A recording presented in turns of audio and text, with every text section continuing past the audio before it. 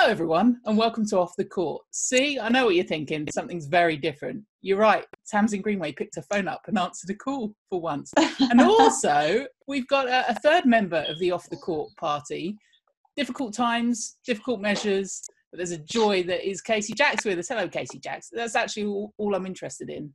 You're here for the views. There he is. It is a bit odd, this, isn't it?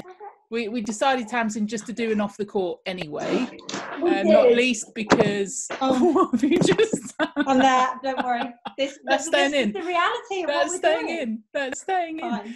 Uh, because we actually had some games in round four, but also some other stuff to, to talk about. Casey, you were right there. There he goes. He'll be fine. He loves netball. This is actually, um, uh, well, I hope you've had him training, doing stuff against the wall. Of course, of course I have. I mean, I'm using this time to really upskill him. Right, right. Uh, we've seen obviously the announcements. What, oh, it's actually six days ago that we last did an off the court at Sky Sports Studios, which is bizarre in itself, It's isn't it? And since then, we had two games that we played on the Saturday. Then the rest of netball was called off from grassroots all the way up. I know. I'm going to guess Wasps and Storm wish it had been called off before Saturday, don't they? We're not talking about that yet. Uh, let, let's talk about what everyone has, has missed since we were, were last here. And of course, the focus on the coronavirus and how it's Yeah. affected sport then. The quick reaction from Netball Super League. I know we saw the first couple of games, but there was this this fear, wasn't there, that if we didn't get any games away, the impact financially that that would have on netball and publicity on netball as well. Yeah, I think it's been. Um, I think look, the reality is it's affecting everything and everyone, isn't it? All sports, and and it was very easy at the start of all of this sort of uh, dilemma, really, to to go, oh, how's it affecting us? What's happened? The, the bigger picture is this is a clearly a really serious. Um, serious issue at the moment It's something that needs to be sorted and of course we are gutted for netball we love our sport um, but the reality is and all the messages that are coming out from england netball from all the clubs from all the teams from all the players is that player welfare, spectator welfare is far more important than the game, and of course it is. So, yeah, we're gutted. We're gutted where the where where it's at at the moment. But um, the bigger picture is that this is what's going to happen. So we thought we'd crack on. We thought we'd still talk about netball because there's plenty to talk about, and I'm sure there's going to be lots of time at home for you guys to uh, to be discussing things and um, talking about different issues. So hopefully not just constantly the virus. No, we've got some special things coming up. Use the hashtag off the court, which everyone has been doing as well. This time next week, I'm already thinking seven days ahead. We're hopefully going to do a three way uh, with the Netball show and also My Netball Nation. They're going to get in touch with us too. So we might have everyone involved. yeah, if we can get the technology work. Let's concentrate on today. One baby, you and me. That's enough for all of us. Loads of questions, as, as I said, though. Uh, Debbie Hallis of Manchester Thunder fame got in touch to say if worst comes to the worst and Netball Super League didn't continue, should Thunder Netball crowned champions at Thunder Netball? She's obviously kidding. Well, I don't actually know if she's not kidding. I know how competitive you all are. Um, but she says when Super League resumes, obviously the time frame will be significantly shorter. What do you think would be a fair format? Well, look, the reality is we're off till April the 30th anyway before it even gets reevaluated. I think looking at what's going on, we're probably going a lot longer. I'm keeping my eye on things in the Premiership, the football. I think we have to stick with professional format. My concern would be if the league's not played out properly, you have to look at a completely different format, and that might be restarting. And the, the reason I say that is teams at the start of the year prepare for playing home and away, two fixtures, and making scraping sometimes into that top four, and then anything goes. I think it'd be a real shame to just take. Um, Perhaps only you've heard people going, well, perhaps we'll only play each other once. That home advantage is huge. What do Um, you mean more than got- three times that we're doing already? well, yeah, but you know, home advantage is huge. Look at Wasps. Their arguments would be, well, we've lost three away from home, but we won against Mavericks at home. Yeah. Then you've got the issues of players like Latanya Wilson missing a game, being sent off. Celtic Dragons could argue if she's back for every other game now, they'll be absolutely fine by the end of the season. Loughborough Lightning will go, well, we've had a few injuries, but by the end of the, the season, we'd, we'd be right up there in top four. The reality is you play for that long season. So I think unless we can extend the season out, um, make it fair for the players to get a pre-season in again. Because look, let's be honest, we can't just tick a box in a few months' time and go, oh, we'll just restart again. The Yeah. players aren't training; they're not together. There's so many other bigger issues. I think we have to look at what other sports are doing, and we have to make it fair playing ground. So I want to see the season play out. I'd love to see it in its full format. If it doesn't, we have to be realistic that we might have to change the rules and almost start again. You know, Stars have played Mavericks twice already, so I think there's so many unfair aspects to this that you just um, say at this point now, oh, we'll just change the rules around a little bit and just just play each other once. I think the whole thing will have to be changed unless we can play the full season out. It has brought out the best in so many different clubs, uh, community groups, people getting together. You'll be aware of Netball Australia being putting out their own fitness regimes, which are brilliant. Yeah. Uh, the Netball Players Association here in the UK and abroad as well, just looking after players, and that's at a professional level.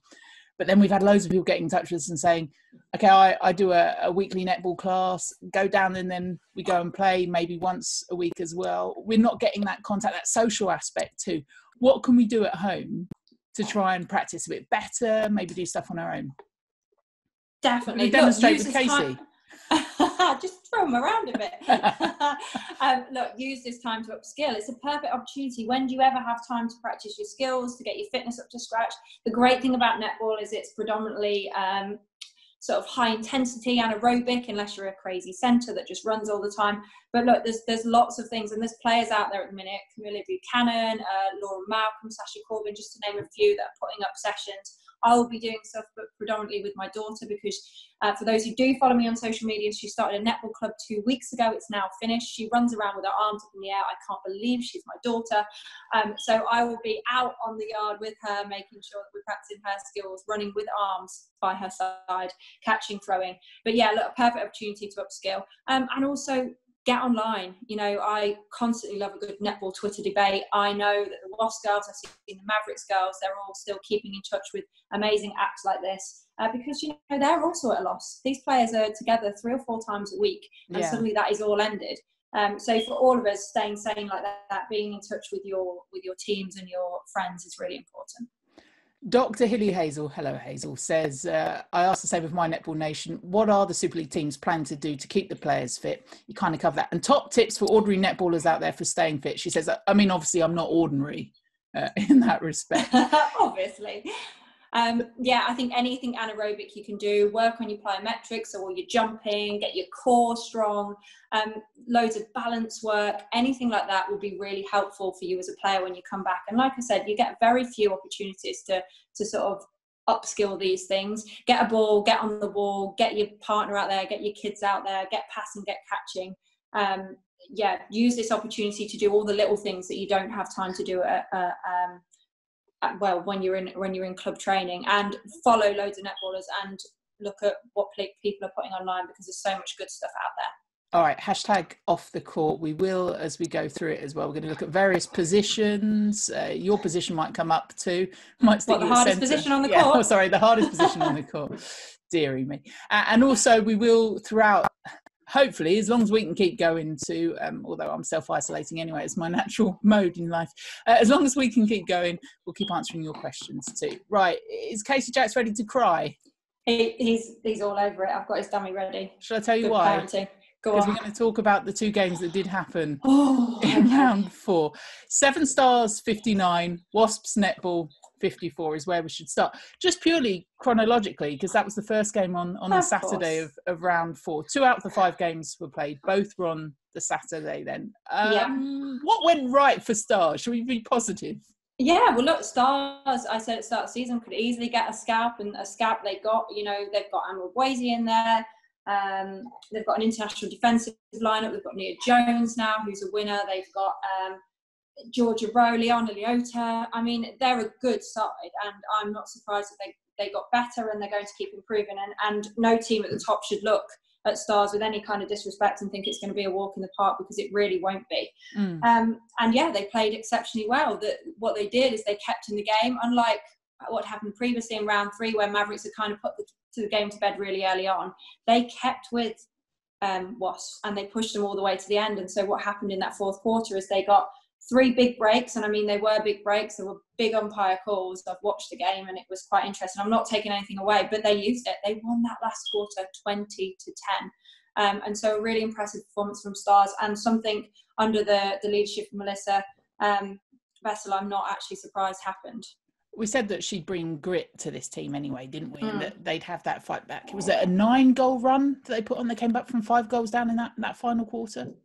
It was indeed, and, and and they've got the quality out there. You know, when you've got someone like Georgia Rowe under the post, I think Paige Reed is really starting to come into her own, led by someone like Liana Leota. I know Bethan Dyke came on and had a massive impact as well in the middle. Um, they're a good little unit. They're clearly playing for Melissa. They're clearly enjoying their netball, and they are going to get better. You, um, you concerned so, yeah, about those Wasps' errors in that final quarter? I think the the issue for me, and, and look, Wasps have beat Mavericks at home. Let's not take anything away. They've they've actually had a probably I would say the toughest run in the competition. I'm not saying that because I'm a Wasp. Um, I, you know they've played Thunder, they've played Mavericks, they've played Bath, and now they've played Stars. Um, they will get better. If you're looking at the error rate they're making at the minute, they are what I would call unforced. You throw that term around so easily. You know, they are landing on the circle edge and just lobbing a ball straight off the back line. Like that is something that will happen um, with the connection once they start to get um, Iona um, Christian and Lexi Baker working properly with Rachel Dunn. So it's quite interesting. Um, I think they are in a bit of a confidence lull. They went into that last quarter five goals up. They should have seen that game off. Um, but I think until they can start putting a few runs under their belt, um, they're in a bit of trouble, but I, I think they will come good because there's too many good players in there. Um, but it's amazing what confidence can do for a team.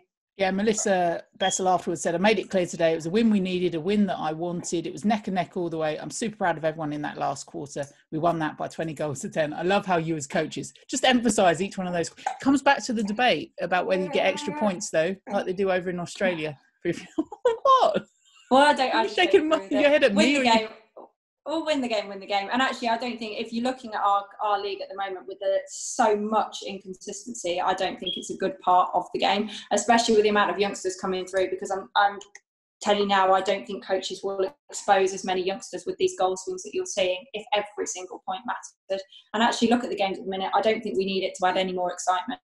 You know, Wasp went 10 5 up in that first quarter, 10 5, and they went in two down like that is a, a bigger picture. There's there's too much inconsistency going on across the country on the court at the moment.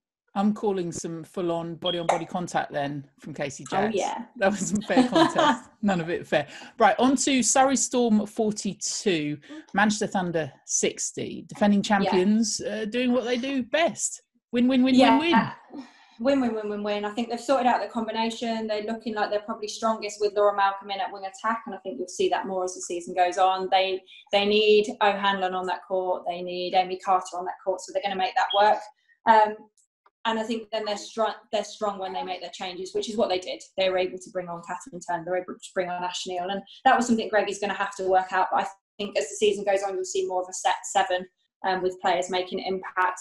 Uh, yeah, quality performance, but not surprised over Storm, especially the way Storm are playing at the moment. They're just mm. not getting enough t- attempts on goal. Um, you know, in the last quarter, they scored nine. In the first two, it was only 10 and 10.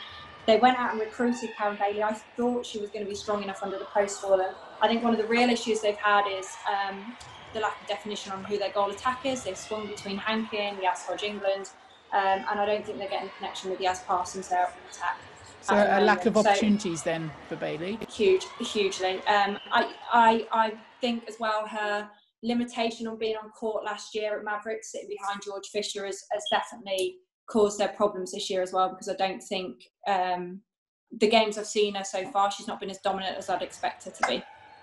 Okay, so those the two games that were done. Dovey was actually player of the match in that. Was that a wow? I know, it's amazing, right? Although she is quality, as you well know, Casey Jacks. So Emma Dovey was player of the match in that one. And then the suspended games, of course, on the, the Monday, the postponed game that's supposed to be on Sky Sports, Loughborough Lightning against Saracens Mavericks. We thought at one stage that's going to be behind closed doors and that we'd yeah. still all get to see that. But clearly the right decisions made. Celtic Dragons, Sirens and Team Bath London Pulse, rounding off round four. So with the break, we would then go into round 12.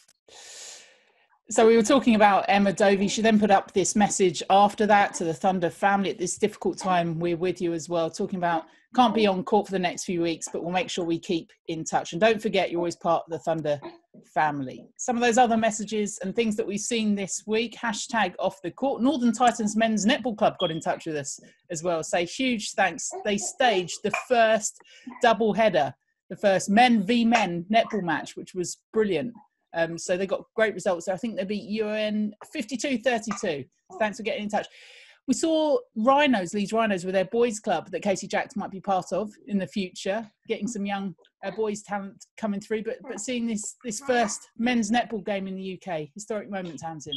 Yeah, it is, and we know there's a place for men's netball. I, I got asked, I think, got asked the question last week whether I think it should be combined. No, I don't, but I definitely think there's a there's a place for for it. It's a growing sport. We want boys playing from an early age. We want men supporting it. We want men playing as well. Um, and you know, over the years, we've had some cracking matchups against some of the men's teams that have existed. So um, I'm a huge fan of them. I, I know a lot of the guys. Um, I know Knights Netball, coached by Talisa Haynes, are doing some great things. So yeah, the more the merrier, and the more that they can organise this as well and get this going for themselves, I think is, is brilliant for our sport and our brand. Thank you then to Northern Titans Men's Netball Club. Well done them. Uh, this was funny from Mr. Gary Burgess. Funny, not funny. Um, Mr. Umpire getting in, in touch just to talk all about social distancing. He put this photo up of himself with the whistle. It's not the golden one that we're used to sing with him though, saying just make sure you're not obstructing uh, netballers out there as well. So he's got involved in the Twitter chat. This from Sigi Burger not entirely sure what she meant, London Pulse's finest. You may as well go ahead and pronounce the L in salmon. Nothing matters anymore. Would you like to say the L in salmon, and Tamsin? Salmon. Salmon. Thank you, Sigi. Uh, this from from up your end as well. Your your role now with Scotland in light of school closures. Lindsay Gallagher will be on hand to answer any questions with regards to remote education. So not only yeah. does she play a good game, she talks a good game too. Well, I think yeah, we have to remember that, don't we? I saw Caroline O'Hanlon uh, tweeting stuff from her medical background, and now obviously Lindsay Gallagher doing this, and you'll see a lot more from the netballers because so many of them have dual roles, as we know. I think this is a brilliant um, plan from from Sirens, and great that Lindsay wants to get involved. Um, you know, I am one of the many parents, not only with Casey Jacks, I'll get Jamie later, and, and that'll be a homeschooling for however mental however amount of time. So I'm sure I'll be on the phone to Lindsay as well at some point going, ah, help, what else can I do?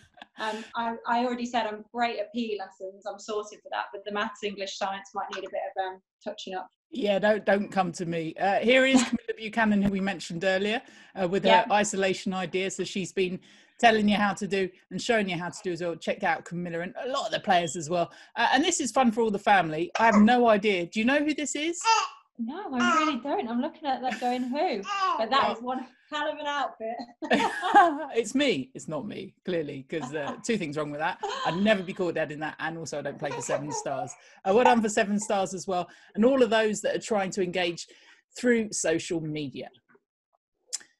Right, that's almost it from us, but we did have uh, quite a few questions in for you. Are you ready for yeah. the Go on, hit me. All right, well, uh, possibly in just a minute. Use the hashtag off the court to get in touch. Lots asking you for your questions on how to keep fit. We've spoken about that. But this from Sarah. She says, Can I ask a real beginner question?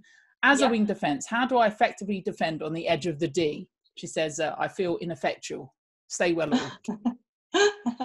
um, yeah, well, you're definitely going to have to get close. There's no social distancing on the edge of the circle. Biggest thing is about your angle and how you can slide behind to actually have a challenge. So you've got to decide whether you're trying to put pressure on the ball or whether you're actually trying to win it, which is very difficult. Practicing without an attacker there, running the edge of the circle because it's not a, it's a strange angle, it's a curve. So you see so many players go for the ball thinking they've got it and obviously being about a metre offside. That was always my favourite from a wing defence. I'd be like, look at your feet, love. um, but yeah, it's really important you practice without. Again, a great opportunity to upskill choose a bit of a curve, mark it down on, on your lawn or your drive or wherever, um, and just sort of run those patterns. It's so important that you drill some of these skills. I'm just laughing because Casey Jacks was immediately quiet the minute you put on your coach's voice. Uh, Chloe, thank you, Chloe. Chloe says, got a couple of questions. Which of the new imports has impressed you most so far this season?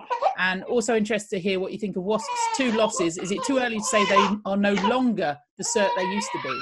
Well, you can see what Casey Jack thinks of that. Um, two, imp- the imports so far, the Jamaicans have kind of really hit home for me. I think Adean Thomas is coming into her own. Um, I actually saw on social the other day that someone was calling me a, a, sunshine girl. But look, I think they really suit our league. They bring something completely different.